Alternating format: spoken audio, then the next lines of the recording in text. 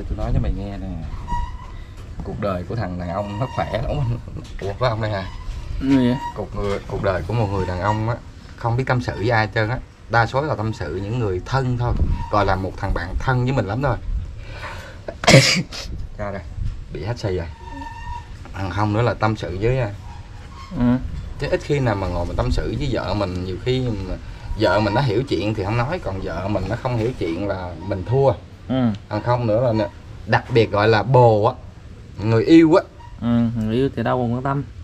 nó không quan tâm nhiều khi là nó bỏ lơ mình luôn và nhiều khi nó đá đít mình nữa kìa Ừ. đúng không tôi nói tôi nói nó một trăm phần trăm là chính xác chứ không giờ tôi nói sai ông hiểu cái gì tôi nói không Không thì biết nói người yêu vậy thôi chứ biết đâu. không hiểu mà Không.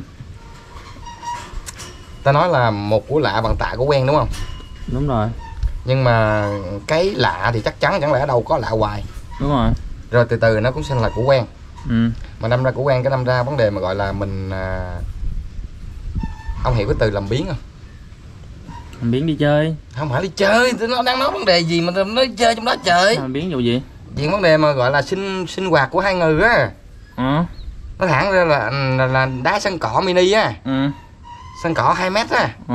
à, đá đó đó mà nhiều khi bữa tôi nói ông nói không biết là ở cái độ tuổi trẻ thì mình không nói còn ở tuổi mà gọi là tuổi trung niên như tôi nè Ừ. tầm 40 hoặc 38 trở về đi á có một cái là thứ nhất là làm biến cái thứ hai nữa là cái cái cái cần câu của mình á Ừ. hiểu cần câu không Ừ.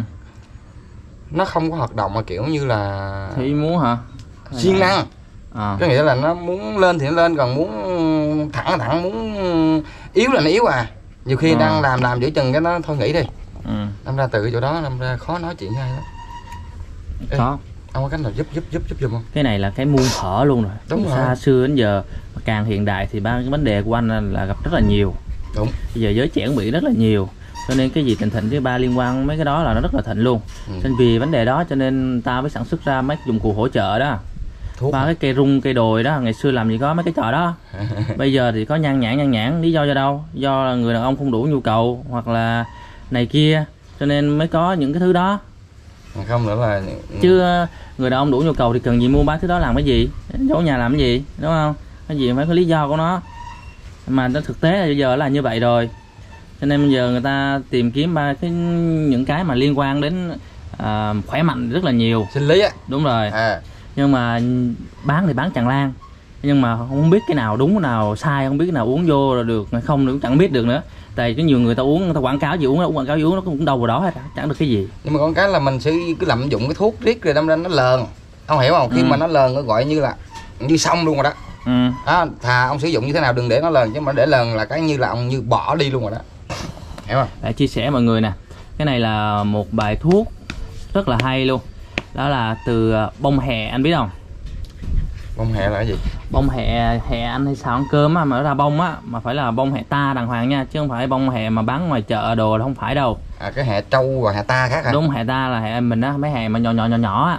À, hẹ mini nhỏ nhỏ nhỏ nhỏ vậy lá Đúng rồi. lá nó mỏng mỏng yếu yếu đúng không? Đúng rồi. Mọi người để ý nhiều nhà mà thấy có mấy ông lão hay trồng mấy cây hẹ ở nhà mấy ông lão cao tay không á. Gì vậy? Trồng mấy hẹ ở nhà thì mục đích là giúp hỗ trợ người đàn ông nó cho mạnh lên á ta á. Ê. cho đây chia sẻ mọi người luôn nè. Những ai mà đang gặp tình trạng như anh Khải á, yếu yếu yếu á. Ông đừng nói tôi là ông nói à những ai mình gì yếu hay là muốn cho mình nó cải thiện sức lực hay là muốn để cho nó khỏe mạnh lên á À. thì mọi người áp dụng cái trường hợp này. Mọi người đi kiếm bông hẹ. Bông hẹ. Nếu không có thì mọi người đi kiếm đặt mua đâu về trồng ở nhà đây trồng bụi hai bụi ở nhà để dành. Nó không có chết lâu đâu nó có củ nó có lên từ từ từ vậy đó. Ừ.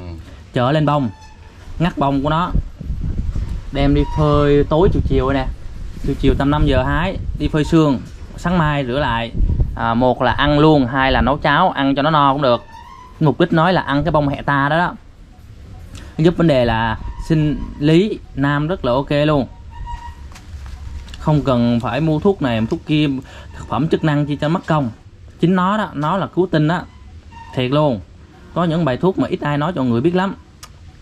Ê đúng không á cái này thực tế 100% luôn. Ê tôi nói cái này cho ông nghe nè cái này là nếu mà gọi là một cái bí mật của mà gọi là những ông ông ông ông ông bà già xưa á ừ. tôi phát hiện được. Ừ ông ngoại vợ tôi. Ừ. Ổng chuyên gia trồng hẹ tôi nói hẹ mà gọi là mình nói gọi là hẹ kiển đúng không? Ừ. thực tế đó gọi là hẹ ta. Ừ. Là ông trồng những cái chậu chậu chậu bông á. Ừ. Đó ông trồng trồng trồng để mà tôi thấy ngày nào ông đem ra ông ăn hết trơn á.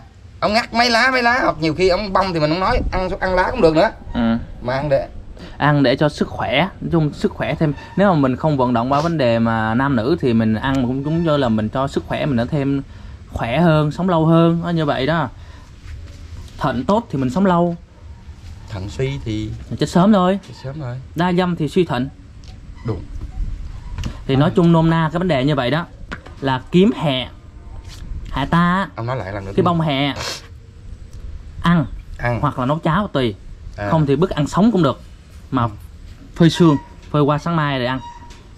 Nghĩa là mình chờ chờ chiều chiều lại bắt đầu ờ, chơi hái một ít chiều rồi đó. nhắm, nhắm nhắm sáng mai ăn mì tôm hay ăn cái gì đó hái một ít phơi sáng mai rửa ăn. Đảm bảo mọi người luôn nó liên quan đến ờ, vấn đề đàn ông rất là ok luôn. Nhưng mà hạ khi mình ăn là cái cái lùi khi mình nói chuyện nó cũng hơi ấy lắm cái gì cũng có hai mặt hết á không ai hoàn hảo đâu anh khải. Anh xác định cái này thì anh mất cái kia thôi. Đó là điều dĩ nhiên rồi không có nào mà nó hoàn hảo một trăm trăm cho nó. Anh xác định cái này thì anh mất cái kia.